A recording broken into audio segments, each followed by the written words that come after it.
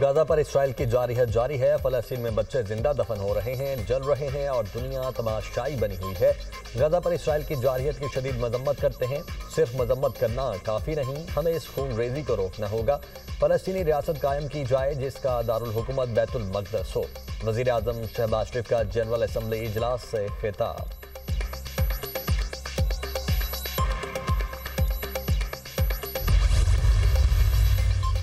वज़ीर अजम शहबाज शरीफ ने जनरल असम्बली इजलास में मसला कश्मीर भी वाज मौक़ पेश किया। कहा, मकबूजा कश्मीर में भारत के हाथों इंसानी हकूक की खिलाफ वर्जियाँ जारी हैं। भारत के जारहाना अजायम से खत्े के अमन को खतरात हैं। पाकिस्तान किसी भी भारतीय जारहत का फैसला कन जवाब देगा।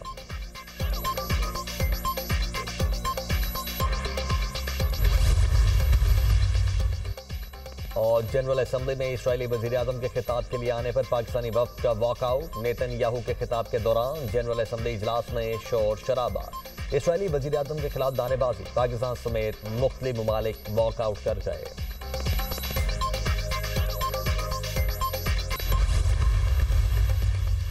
वजी अजम की न्यूयॉर्क में आलमी रहनुमाओं से मुलाकातें। वजी अजम शहबाज शरीफ की बरतानवी वजी अजम से मुलाकात, पाकिस्तान और बरतानिया के माबेन दो तरफा ताल्लुक और बाहमी दिलचस्पी के अमूर पर गुफ्तु दोनों रहनुमाओं के माबेन पाक बरतानिया ताल्लुक को मजीद फ़रोग देने और मुख्तलिफ़ शोबों बिलखसूस तजारत और सरमाकारी के फ़रोग पर इतफाक़ पाकिस्तान की मौशी सूरत हाल पर भी गुफ्तु वजी अजम शहबाज शरीफ की ईरानी सदर के साथ भी मुलाकात। ईरान पाकिस्तान बाहमी हमायत और शराकतदारी को मजीद मज़बूत बनाने के अज़म का अदा वजी अजम शहबाज शरीफ ने इराकी हम मनसब से भी मुलाकात की।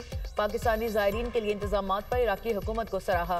बाहमी दिलचस्पी के इलाकाई और बैन अवी अमूर पर तबादला ख्याल। दोनों रहनुमाओं का गजा में इसराइली कतलेआम, जुल्म जबर और लाखों इंसानी जिंदगियों की तबाही पर गहरी तशवीश का इजहार। वजी अजम शहबाज शरीफ की नेपाल के वजी अजम से मुलाकात। शहबाज शरीफ का कसरजहती ताउन बिलखसूस तजारती इकतदी और सयाहत के शोबों में ताउन को मजीद मुस्तकम करने की ख्वाहिश का इजहार। शहबाज शरीफ के नेपाल के वजी को पाकिस्तान के दौरे की दावत।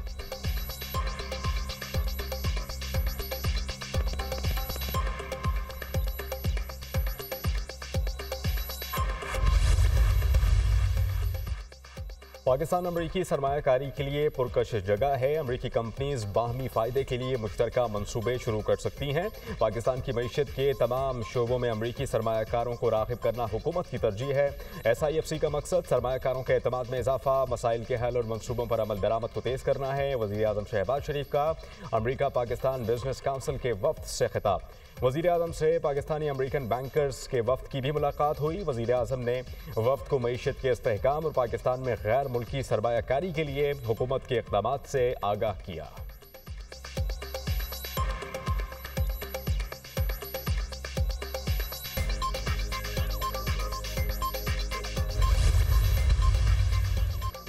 इलेक्शन कमीशन ने सुप्रीम कोर्ट मखसूस नशस्तों के फैसले को मफरूजों पर मबनी करार दे दिया। नजरसानी केस में इजाफी गुजारिशा सुप्रीम कोर्ट में जमा करा दी। इलेक्शन कमीशन ने सुप्रीम कोर्ट के फैसले पर अमल रोकने की सदा भी कर दी। इलेक्शन कमीशन नजरसानी पर फैसला होने तक अदालती फैसले पर हुक्म इम्तना दिया जाए। सुप्रीम कोर्ट का मखसूस नशस्तों पर फैसला मफरूजों पर मबनी है।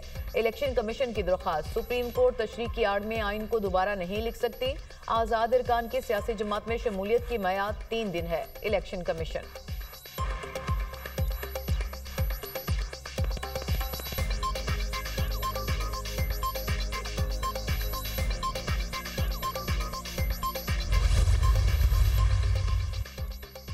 आर्टिकल तिरसठ ए नजरसानी केस, सुप्रीम कोर्ट। तिरसठ ए नजरसानी केस की समाप्त पीर को करेगी।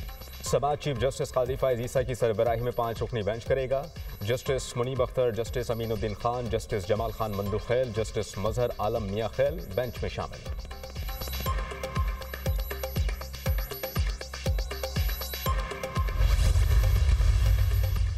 मखसूस नशस्तों पर सुप्रीम कोर्ट के फैसले पर अमल दरामद कराने के लिए दायर दरख्वास्त पर समात लाहौर हाईकोर्ट ने इलेक्शन कमीशन समेत दीगर को जवाब जमा कराने का आखिरी मौका दे दिया। अदालत ने समात चार अक्टूबर तक मुलतवी कर दी। जस्टिस राहील कामरान शेख ने शहरी की दरख्वास्त पर समात की।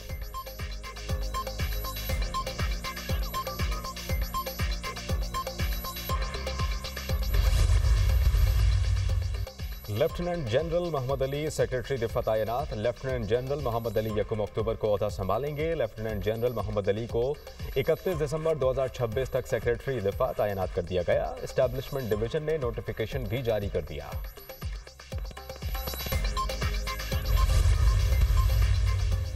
वजी अला मरीम नवाज़ का पंजाब भर में स्कूल बिल्डिंग्स की चेकिंग का हुक्म, मखदूश और खस्ताहाल इमारतों में बने स्कूल सील करने की हिदायत। मरीम नवाज़ का कहना है कि अवामी अमूर पर नज़र है, तमाम मसाइल हल करना चाहते हैं। शाबाश देने में कंजूस नहीं, चीज़ों को बेहतर करने के लिए सख्त रवैया अपनाना पड़ता है। हर आने वाले दिन में बेहतरी आ रही है। जराइम पेशा अफराद के खिलाफ सख्त तरीन और फैसला कन कार्रवाई करके खौफजदा किया जाए। वजी अला पंजाब मरीम नवाज़ से मुजफ्फरगढ़ में इरकान असम्बली की मुलाकात। अवामी मसाइल के हल के लिए तजावीज़ और सिफारिशात पेश की।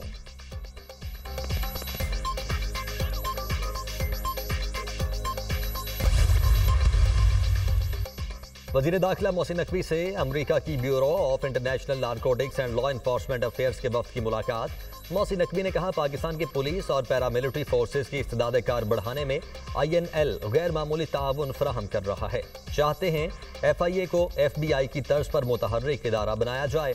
इंसदाद मनशियात के जिमन में भी हर मुमकिन इकदाम उठाए जा रहे हैं। नेशनल पुलिस अकेडमी की तंजीम नौ इंतहाई ज़रूरी है, ताकि इसको एक आलमी मैार की अकेडमी बनाया जा सके।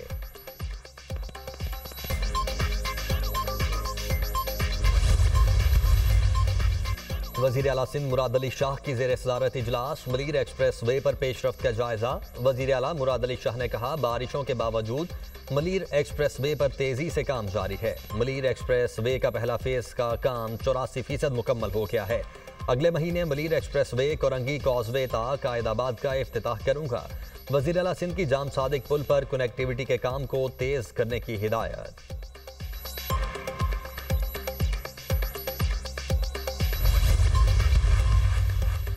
लिबनान में जंगबंदी के लिए आलमी दबाव मुस्तरद। इसराइली वज़ीर अजम नेतन्याहू की हड़दर्मी बरकरार।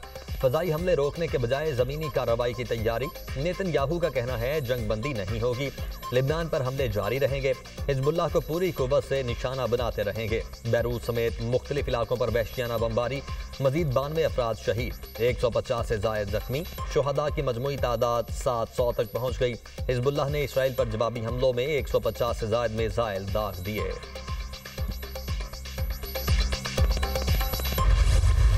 दुनिया भर में आज सयाहत का दिन मनाया जा रहा है। पाकिस्तान में रवा बरस अंदरून मुल्क सयाहत में 30 से 40 फ़ीसद इजाफा हुआ, जबकि बैरून मुल्क से आने वाले सयाह मुल्क की मीशत में एक आशारिया छह मिलियन अमरीकी डॉलर का हिस्सा डाल रहे हैं।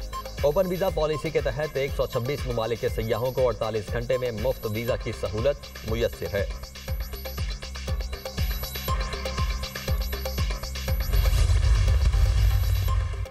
चैंपियंस वनडे कप मार्कोर्स और लाइंस के दरमियान दूसरा एलिमिनेटर आउटफील्ड गीली होने के बाद साकिब का शिकार।